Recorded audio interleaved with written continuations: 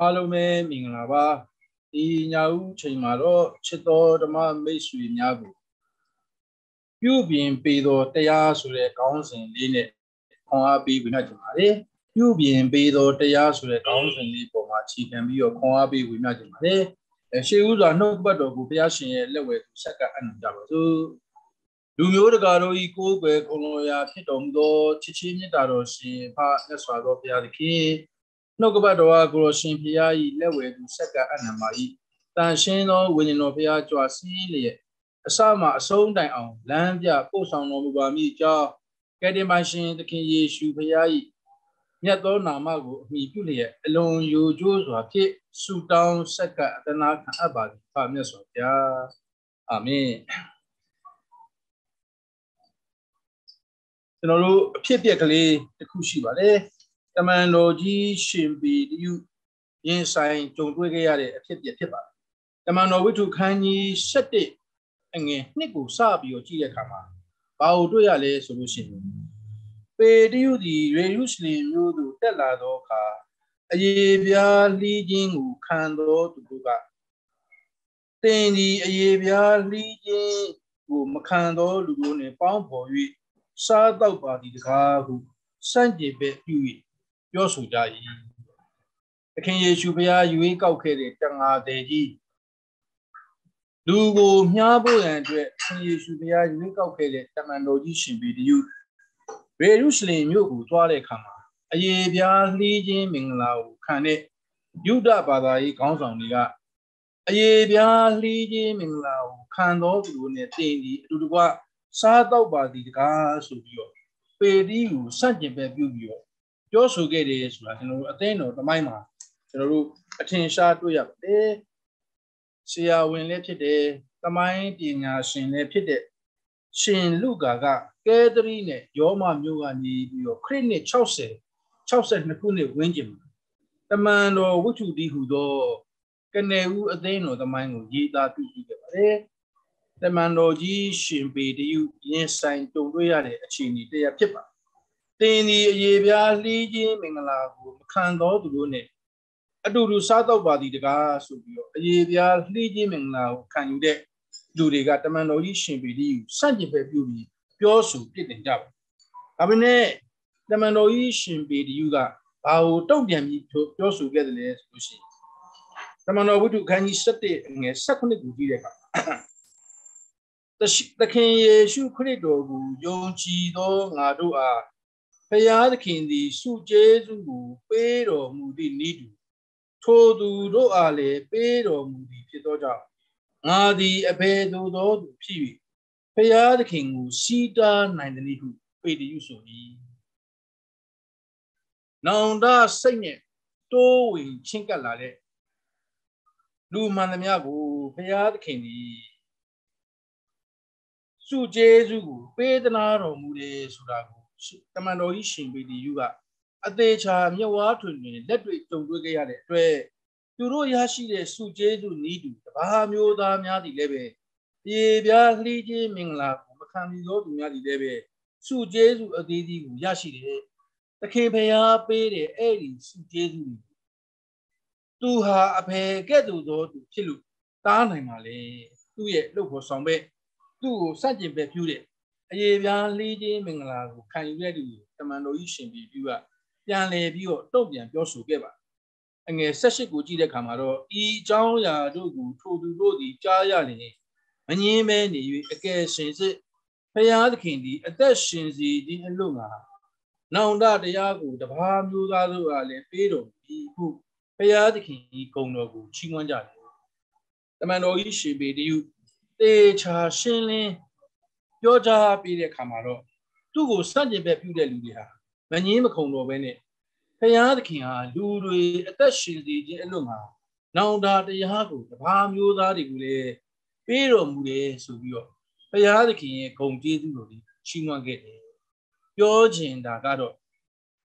ဖယားသခင်ရဲ့အလိုတော်အကြံစီတော်ထဲမှာဖယားရှိတဲ့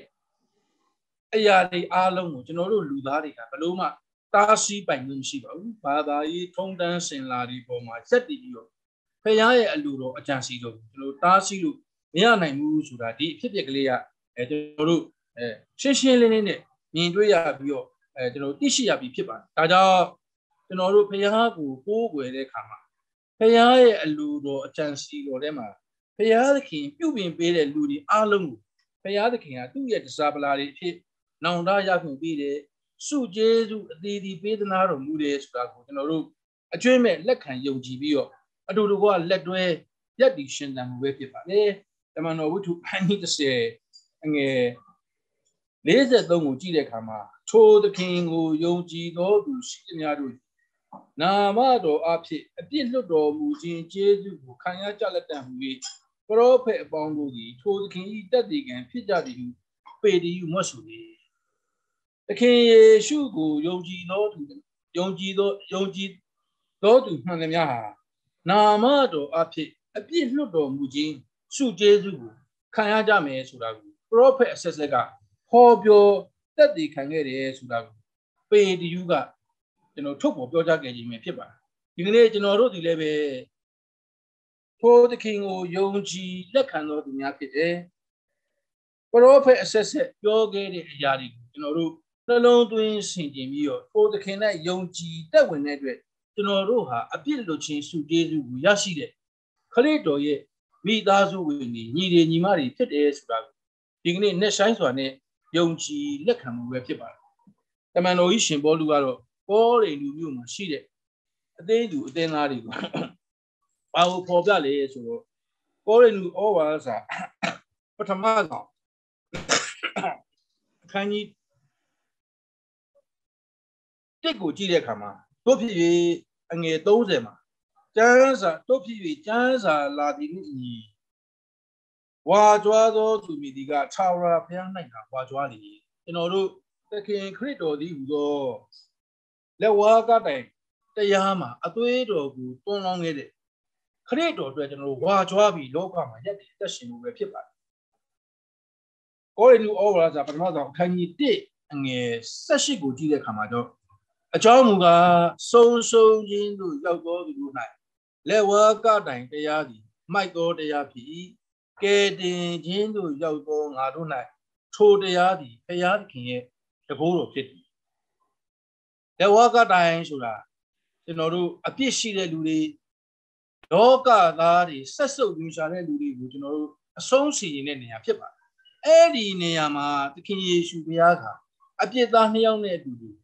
အသက်တော်ကိုစွန့်လို့ပြီးတော့အသွေးတော်ကိုတွန်းလောင်းပြီးတော့ကျွန်တော်တို့ကိုရွေးကောက်ခဲ့တဲ့ကျွန်တော်တို့ကိုကယ်တင်ခဲ့တဲ့ကျွန်တော်တို့ရဲ့အရှင်သခင်ဖြစ်တယ်ဆိုတာကိုအဲကျွန်တော်တို့ယုံကြည်လက်ခံမှုပဲဖြစ်ပါတယ်အဲ့ဒီလိုယုံကြည်လက်ခံတဲ့လူတွေကတော့တဲ့အဲ့ဒီလက်ဝါးကတရားဟာ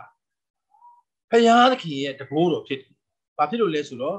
သုံးရက်မြောက်တဲ့နေ့မှာသခင်ယေရှုဘုရားကရှင်ပြန်ထမြောက်ခဲ့တဲ့အတွက်ကျွန်တော်တို့အားလုံးလည်းပဲသာဝရရှင်သန်ခြင်းအမှုကိုရရှိမယ်။ ဖယားသခင်ရဲ့တဘိုးတော်နဲ့ဆက်ဆိုင်တဲ့တရားဖြစ်တယ်။သို့တော်လည်းပဲ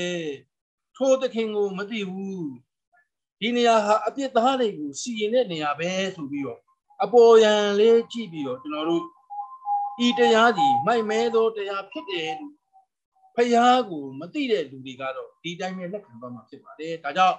လက်ဝါးကတိုင်တရားကိုကျွန်တော်တို့တန်ဖိုးထားကြရအောင်လက်ဝါးကတိုင်တရားဒီဖယားသခင်ရဲ့တကူဖြစ်တယ် ကျွန်တော်တို့ကိုပြုပြင်ပေးတဲ့တရားဖြစ်တယ်ဆိုတာကိုကျွန်တော်တို့နှလုံးသွင်းရှင်းကျင်ဖို့ပဲဖြစ်ပါတယ်ကျွန်တော်တို့ကောရိနုဩဝါဒစာဆောင်ခန်းဒုတိယဆောင်ခန်းကြီး၄ကျွန်တော်တို့အငယ်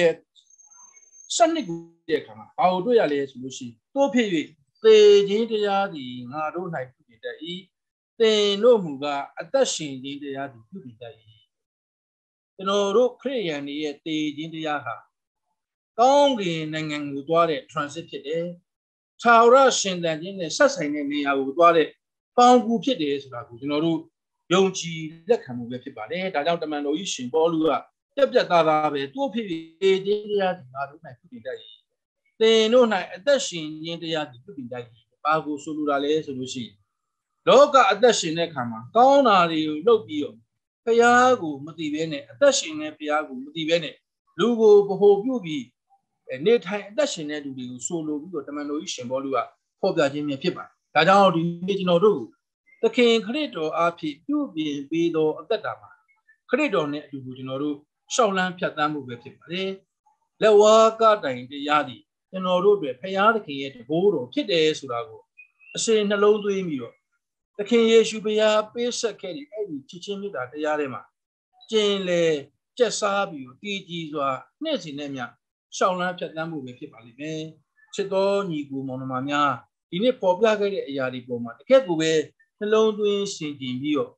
ပြုပြင်ပေးတတ်သောလက်ဝါးကတိုင်တရားဖရာသခင်ရဲ့တဘိုးတော်ဖြစ်တဲ့လက်ဝါးကတိုင်တရားသခင်ယေရှုဖရာရဲ့တိုးတငယ်ကဲသူမိမိကိုယ်ကိုမိမိဘာအပြစ်မှမရှိဘဲနဲ့ အပြစ်ရှိတဲ့ကျွန်တော်တို့တယောက်စီအတွက်အသွေးတော်သွန်လောင်းခဲ့တဲ့အဲ့ဒီလက်ဝါးကတိုင်တရားကိုရှုမှတ်ပြီးတော့တမန်တော်ကြီးရှင်ဘောလူပေါ်ပြထားတဲ့အတိုင်းပဲသေခြင်းတရားသည်ငါတို့၌ပြုပြင်တတ်၏ဆိုတဲ့အတိုင်းကျွန်တော်တို့ခရစ်ယာန်တွေရဲ့နောက်ဆုံးအချိန်ကိုတကယ့်ကိုပဲဖရာကိုတည်ကျွမ်းခြင်းပညာနဲ့ရှုမှတ်ပြီးတော့ဤခရီးသည်အိုခြင်းနာခြင်းတေခြင်းဝေဒနာမျိုးစုံကင်းဝေးတဲ့သာဝရရှင်သန်ခြင်းအခွင့်ကိုရရှိမြ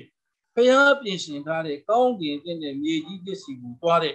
ခရီးဖြစ်ပါလားပေါင်းလူတရားဖြစ်ပါလားဆိုပြီးတော့ကျွန်တော်တို့ရှုမှတ်ပြီးတော့ကြည်ကြည်စွာရှောက်လန်းဖြတ်တန်းမှုပဲဖြစ်ပါလေစာလံဆရာကတော့40နဲ့နှစ်ခုမြောက်သောစာလံကျမ်းအပိုက်ငယ်1မှာဘာကိုဖော်ပြလဲဆိုလို့ရှိရင်